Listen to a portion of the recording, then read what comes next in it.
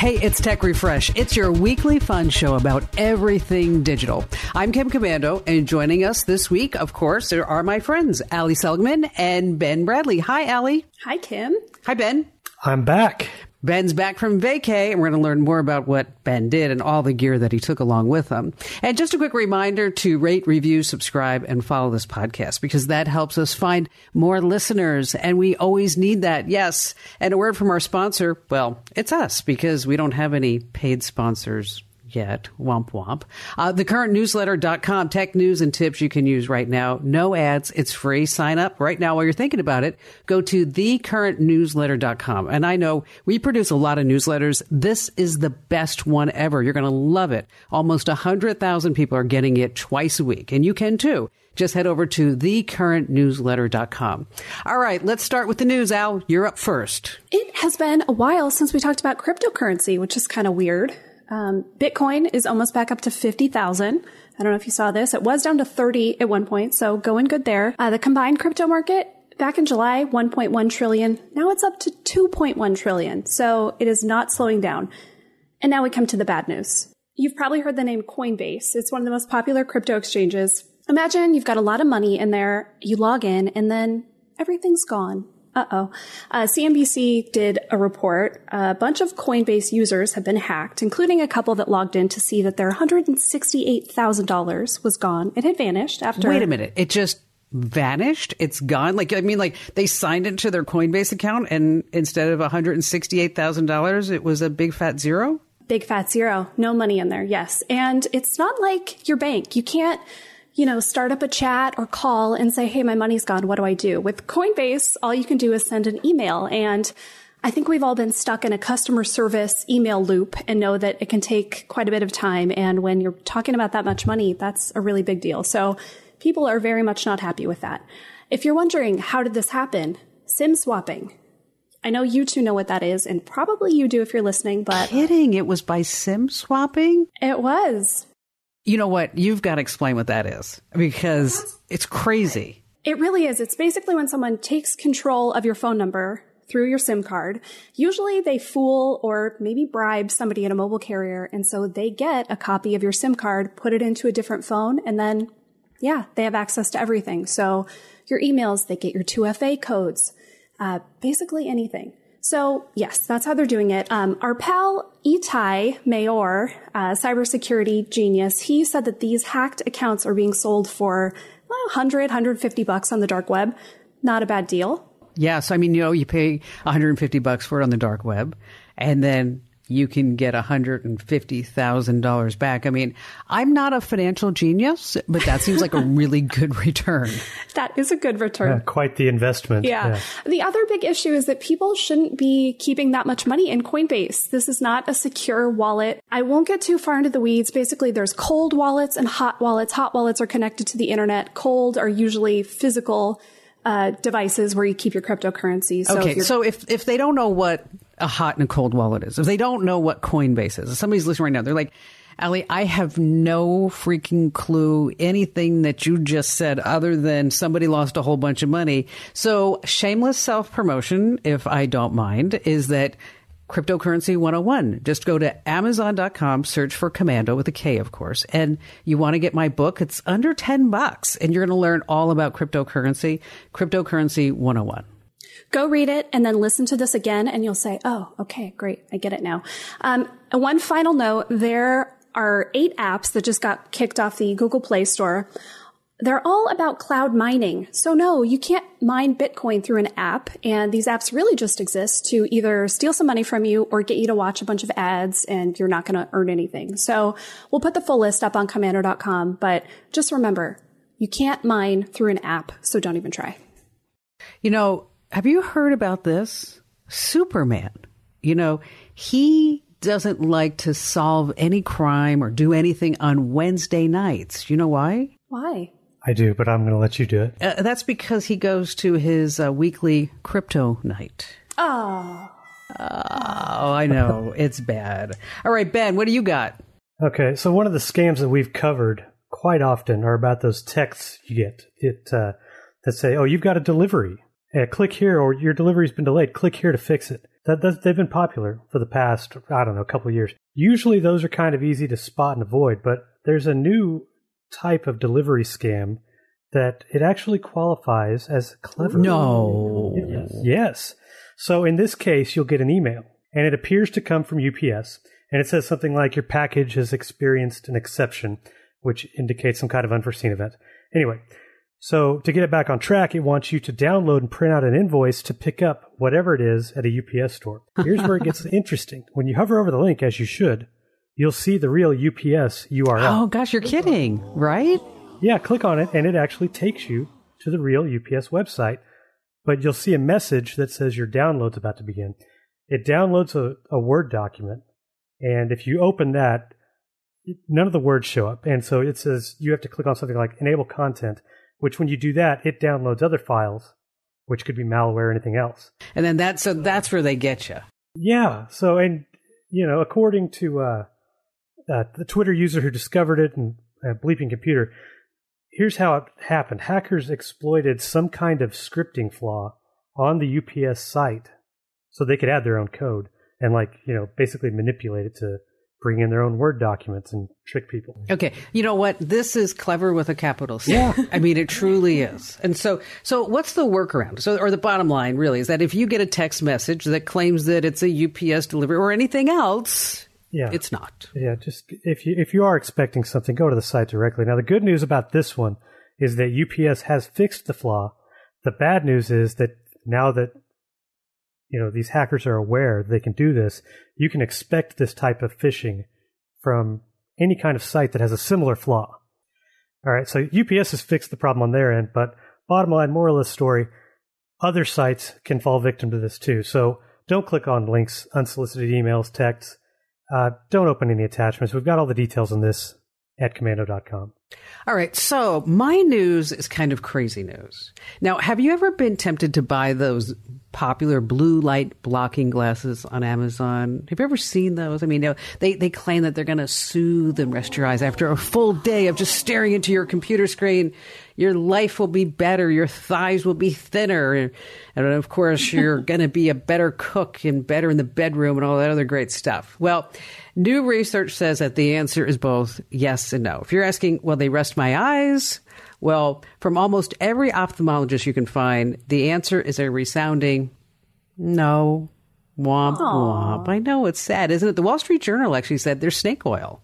But if you're asking, well, I like the blue light blocking glasses, and well, the blue light blocking glasses make me look cool, you're going to hear a lot of people that say yes. Like, as a matter of fact, today I was on the phone with my attorney and I was looking at John and I said, John, are those blue light blocking glasses? And he's like, Yes. And I said, So, John, do they really help you? Now, he went to Harvard Law School and all these other places. And I explained to him that was just snake oil. And then he told me that he got them free at Costco. So I was like, Oh, okay.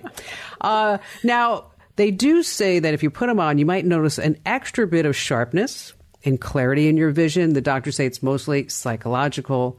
But I guess if you want to give them a try. Now, think about this Microsoft had the HoloLens, Google had Google Glass. Now, what about Apple, right? If Apple had invented augmented reality glasses, and they are coming out soon, I heard they're going to be called eyebrows. oh, Ben, I have a little. I have a little vision tip. Actually, I went to the ophthalmologist a couple weeks ago, and there was a sign on the wall, and it said to actually rest your eyes every 20 minutes. Look at something 20 feet away for 20 seconds. So just taking your you know, eyes off of looking really close and looking out into the distance. So if you two see me kind of staring longingly, that's why. You know, I've noticed that. I thought you were like zoning out. I was like, where's nope. Allie? Come on back, Al. Come on back. that leads me to my next story digital detox. Okay. Everybody's been talking about digital detox, right? I mean, that you're tired of staring at the screen because of the pandemic. We've got all these products and services that are promising that if you put the, the, device down for just a moment, that your life, of course, like the blue glasses, is going to be better. As a matter of fact, I've been using iOS 15 and it has this new focus mode. So it's the whole idea is that you'll put the phone down and nobody will bother you. So taking a break from tech, it's often sold as a way to boost your overall well-being and help you fight sleep disorders, anxiety, and depression. But research out this past week that they found a 24 hour period of smartphone abstinence had absolutely no effect on your mood. Absolutely no effect on your anxiety because what they found is that people, when they are not using it, they are anxious because they're afraid of what they're missing, right? So, have you guys ever tried a digital detox? It doesn't work for me to do the whole like, you know, don't touch your phone all weekend, that kind of thing. For me, doing something a little more balanced, you know, I'm not going to check it all day. I'm going to check it a few times. I, f- I find that that's a better way to not fall into that, oh my gosh, what am I missing? What emails, what texts, what calls, and, you know, get a little time away from my phone. I have withdrawals thinking about it. not really. Not really. No, I mean, it's like, we, I know when I go camping, it's like I still take all the the tech stuff, but I do try to make it a point when I'm doing that, or you know, it's it's supposed to be some kind of low key evening or whatever. That I do set it aside mindfully, and that I try not to check it often. But no, I I, I don't recall a time where I've ever just you know put it down for solid hours or a day. Well, the only like place where I was not able to use my phone, and I was not able to use a phone for six days no technology for six days. And when I thought that there was a signal in place, I went to the stern of the boat because I heard that was the best place. And I held my phone up in the air and I got one bar, it was in the Galapagos Islands. Oh, wow. Oh. And it was for a while, the first couple of days, it was like, wow, this is great. This is wonderful. And then after like day two, you're like, oh gosh, what am I going to do? And I was going to start a digital detox program, and I was going to call it the Hokey Pokey because you do the Hokey Pokey and you turn yourself around, and that's what it's all about. uh, come on, work with me on it. Work with me. All right, coming up next, we have some really great digital life hacks that you're not going to want to miss. And also the weird news that we found online. Ben has a great product review. Uh, ben, is it another battery thing? Tell me no. It doesn't have a battery in it at all. Okay, that means that it has something to do with power. It does. Power pass through.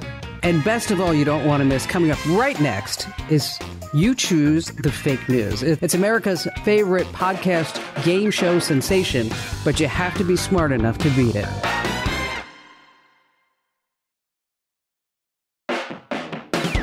Hey, welcome back to Tech Refresh, brought to you by thecurrentnewsletter.com. Tech news and tips you can use right now. No ads. It's absolutely free.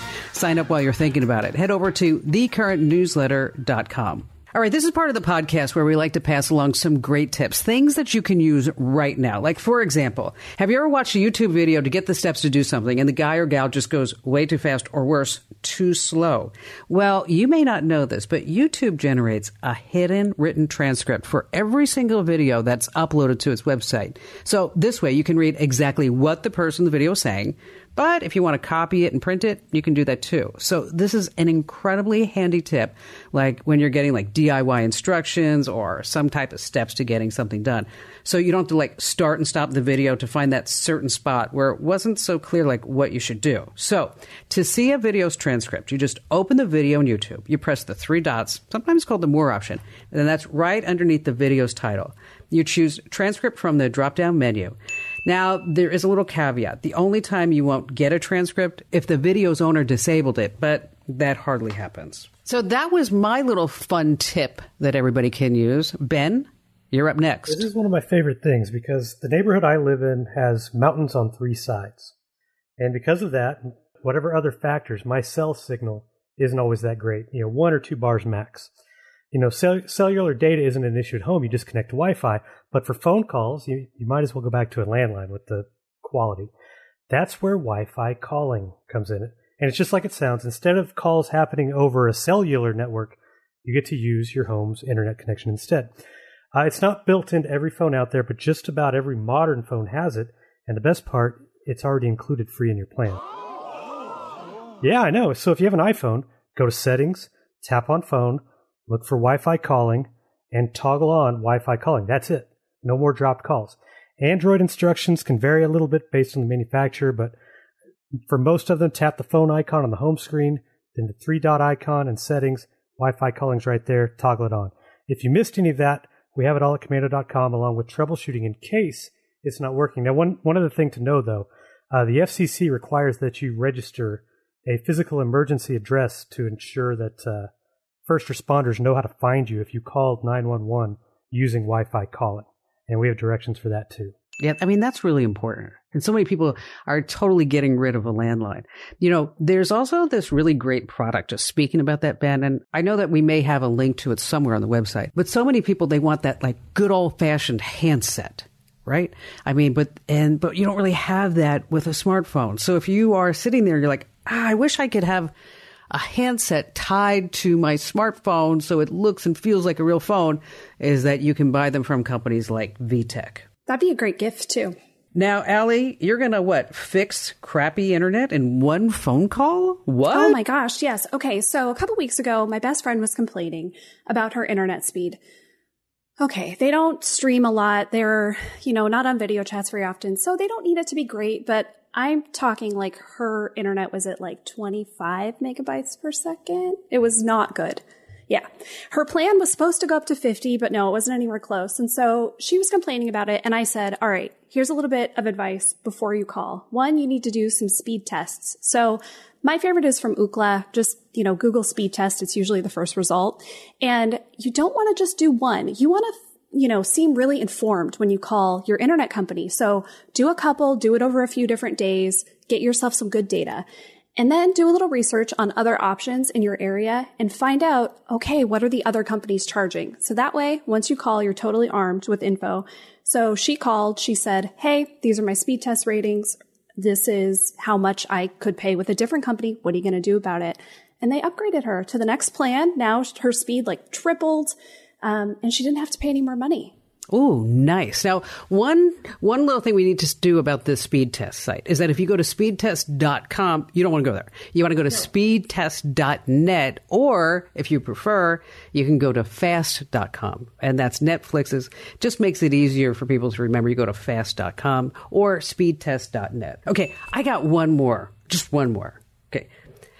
Do you like to dictate things or do you rather type? It depends. I I like to dictate sometimes, but man, I always get weird words put in there. I, I prefer typing. Do you? It's just yeah, it's just easy for me. I like you know the punctuation and everything. Well, I've just noticed on the weekend radio show is that I begin a lot of people are calling and saying like, "Hey, I am ready to write the next great American novel," but they don't want to sit there and type the whole thing. So they always ask me, "What type of software do we need?" Okay, well, you know, it used to be you'd say, you know, Dragon Naturally Speaking, that's the one that's out there, that's the one that really works. But here's the deal: you already have dictation software on your PC or Mac. It just takes some time for your Windows and Mac to get used to your voice. You need to speak clearly and it's best to use the mic on your earbuds. But if you want to include punctuation, you need to say something like, quote, I love tech refresh, exclamation mark, right? End quote. Uh, the free dictation software on Windows, you press the Windows key and the letter H. I don't know why it's the letter H. It seems like it should be like, I don't know, some other letter that had to do with dictation. and on a Mac, it's under System Preferences, Keyboard, and Dictation. So once again, Windows, key, the letter H. On a Mac, it's under System Preferences, Keyboard, and Dictation. So now on Tech Refresh, it's time for us to play You Choose the Fake News, right? Now, what's really interesting about fake news is that we see it all over. So on Tech Refresh, each of us takes a turn and we tell you about two real tech headlines and one fake. So we're going to present to you three news headlines that happen in the tech world. Two are real, one is fake. And this week, Allie, it's your turn to stump everybody. I am so ready. Okay, first headline Man who appeared on Nirvana's Nevermind album as a baby sues band for child pornography. We all know this cover, it's iconic the little naked baby swimming underwater toward a dollar bill. That baby is now a 30 year old man, Spencer Elden, and he is suing members of Nirvana and lots of other people, saying that this was child porn that he is now forever tied to. Right, number two.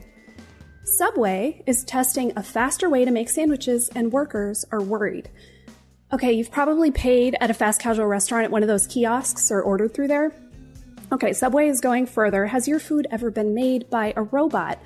Well, maybe if you visited one of the 10 Subway restaurants piloting new tech. Instead of your sandwich going down a line with a person, it actually goes down this slow little conveyor belt and then, yes, little robot arms reach up to open the bread, lay out the meat, the cheese, the veggies, And then a human takes over to do, you know, the mustard, the mayonnaise, whatever. Number three, new AI cologne comes in a smartphone activated robot shaped bottle. A French fashion house is called Paco Rabanne. They've got a new line of men's fragrances, and they are the smartest colognes around. Each one is in this shiny robot shaped bottle, and there's an NFC chip in the head. Those are like the same kind of tags that you use to do contactless payments. So you touch it with your phone, you get style guides, filters, playlists, all kinds of digital stuff. And yes, AI, because AI helped formulate the actual cologne. So perfumers use different algorithms to find the perfect ingredients to make the emotional effect that they wanted. They say it is an energizing flash of lemon. Oh, this is tough, Allie. So, two of those are real, one is fake. So that's right. So two are real, one is fake. Now, Ben, you just got back from camping, so let's have you have first dibs at it. Okay. Nirvana Baby, I'm going to say is real. So, going to rule that one out as being fake. And I agree with that because the Nirvana baby is now 30 and he's saying like, wow, I could get some quick cash out of this. Two and a half million bucks. Okay. Why work? Yeah, exactly. Uh, the next two are a little more difficult. Um, but you know what? I'm going to go with my first thought, and I'm going to say that Subway is also real, and that the uh, AI cologne is the fake headline. Now, but there is a Paco Rabanne.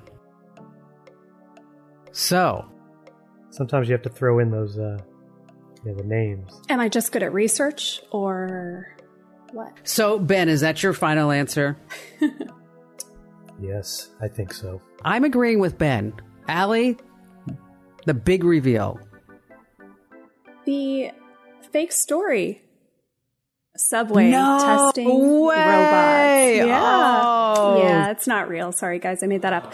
Uh, there is a restaurant trying out robotic fryers, which is pretty crazy, but no, Subway's not doing that. The, you were totally right, Kim. This guy is suing 17 different people over this album cover for $150,000 each. That is $2.5 million. Um, the best part of this, for the 15th and 25th anniversaries, he recreated the covers. He was like into this. Oh, was he really? Okay, and now he's crying foul? Really? He okay, is, he found because, some lawyer you know, that said we could make some quick cash. yeah. Exactly. Uh, if you want that AI cologne, it will cost you 75 or $100, depending on, on how big of a bottle you want. I always remember like Paco Rabanne never really smelt that good. I mean, for some reason, you know, like, you know, like when you go through like Macy's or Nordstrom's and in Saks, they assault you with the perfume, and you're like, "Get away from me!" And I remember like once I got it, I was like, "Ooh, what is that smell? Awful." Well, now it's going to be like, you don't know what you want. AI knows what you want. Exactly. so stay right where you are. Coming up next, the weirdest things that we saw online this past week here on Tech Refresh.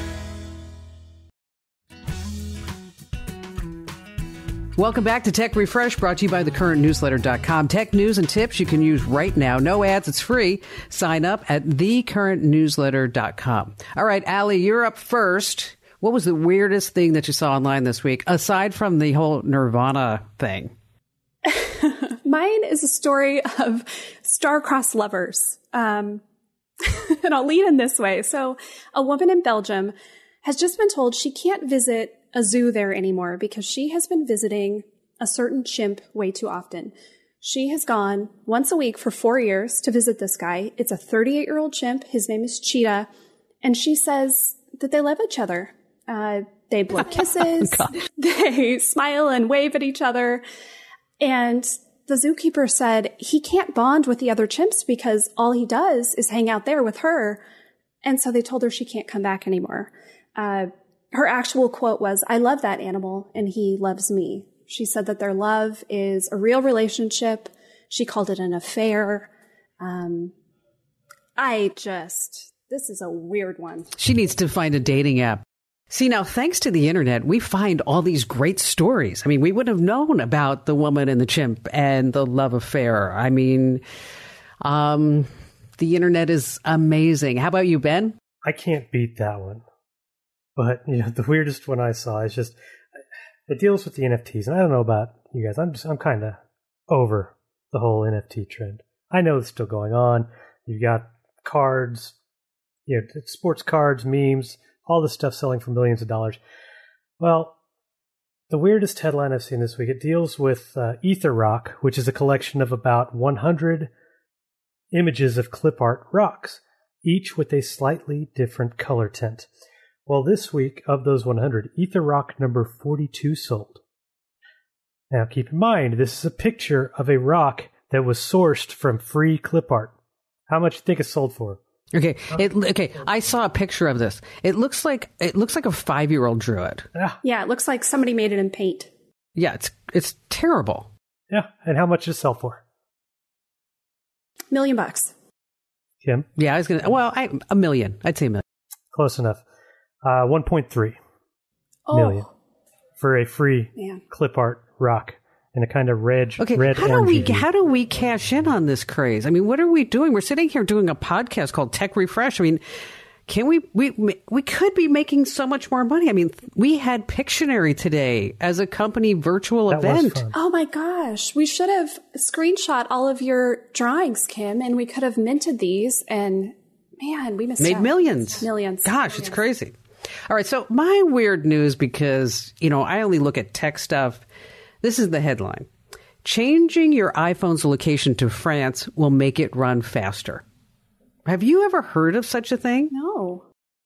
Total clickbait. Would you have read the story? Yes, you would have. Both of you would have. You'd be like, what is going on?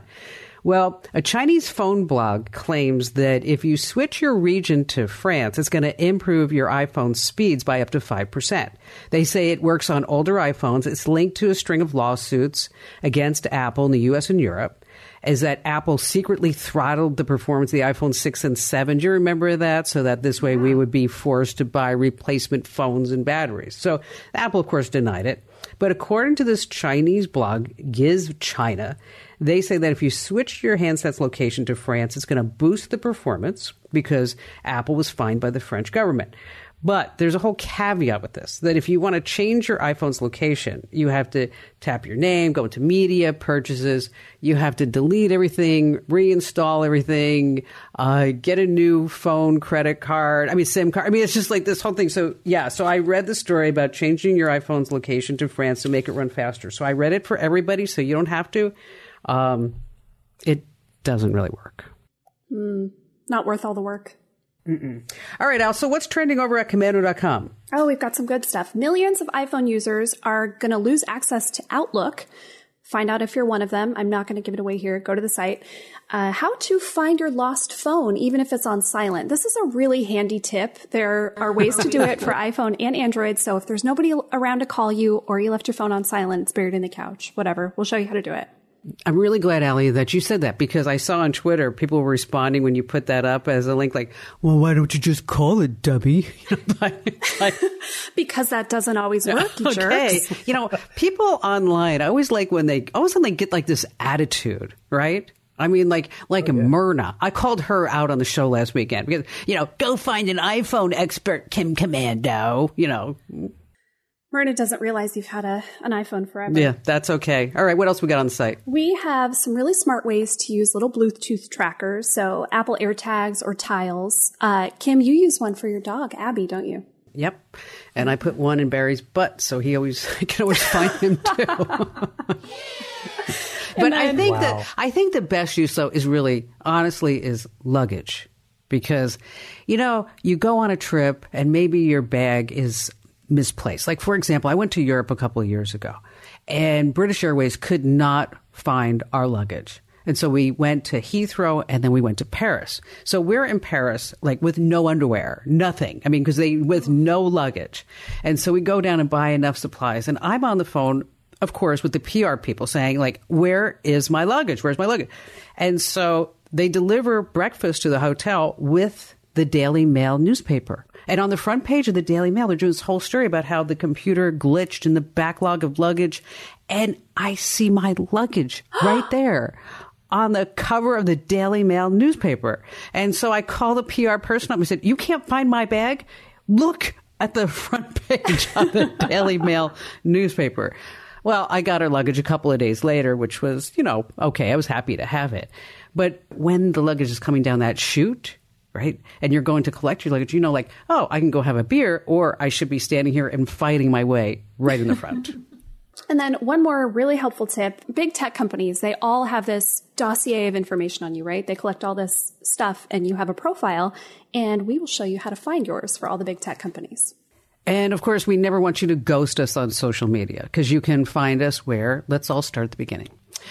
Facebook.com slash Kim Komando. Kim Komando. Okay. Instagram.com.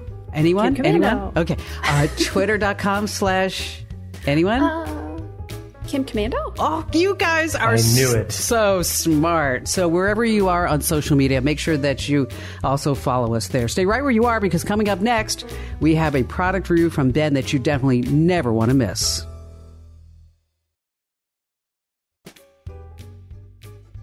Hey, welcome back to Tech Refresh brought to you by thecurrentnewsletter.com. Tech news and tips you can use right now. It's free, no ads. Sign up while you're thinking about it. Head over to thecurrentnewsletter.com. All right, so Ben, you're back from vacay. Tell us where you went and how many gadgets that you brought with you.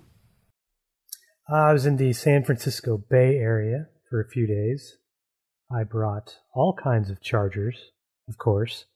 Uh, definitely some batteries, which I will not be discussing on on the podcast today. However, uh, one thing I did bring with me because I, I, brought my laptop too uh, was very helpful, and it ties into remote work because I.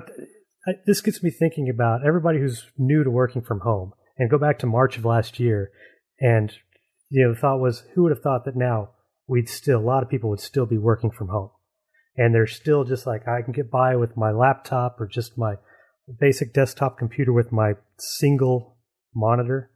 Uh, no, you know, you don't know how long it's going to be, so why not get that second monitor? Why not get a couple of those extra peripherals? And that's what's great about a USB C hub. Now, you can get those, you know, there are so many to choose from, so many different features, everything else. The one that I'm talking about today is called the Anker Power Expand 4 in 1.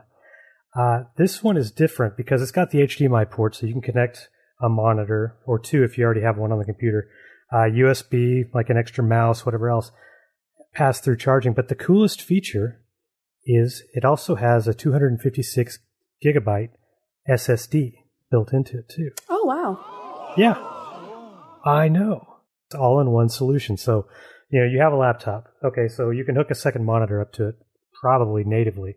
But if you wanted a third one, or if you wanted to, you know, take it outside and on the patio or whatever, hook this stuff up. And if you're running out of space, you've got this, you know, nifty SSD that you can move work files over to. So, you know, if you're working on a personal computer. I gotta say, Ben, you're the only person I've ever met who has set up like a complete workstation on a patio. He's like out there Oh with gosh. It's three crazy. monitors. It is. But you know the thing that that you need to always remember when you're setting up all this stuff, especially when you're camping, Ben, is that there there is an app that will tell you if you're getting too much sun because it looked like you had like a chemical peel going on in your forehead. What was happening with that?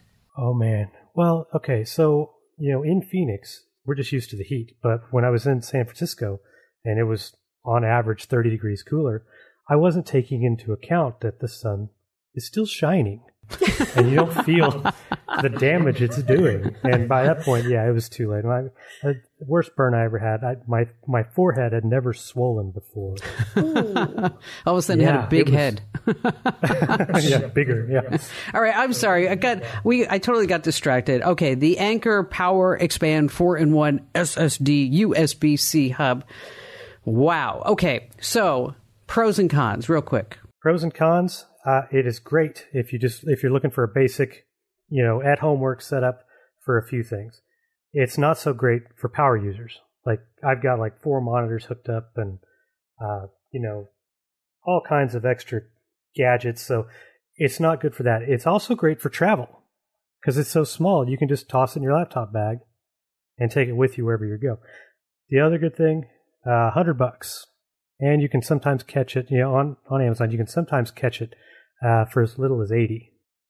Oh, okay. Well, you know what? That's you know what. So, how many Ben heads do you give it? That gets a solid four.